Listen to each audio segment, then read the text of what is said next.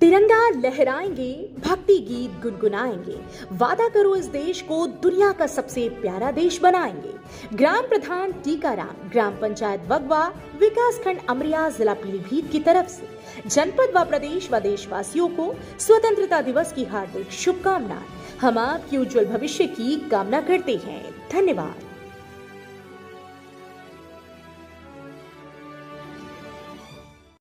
मैं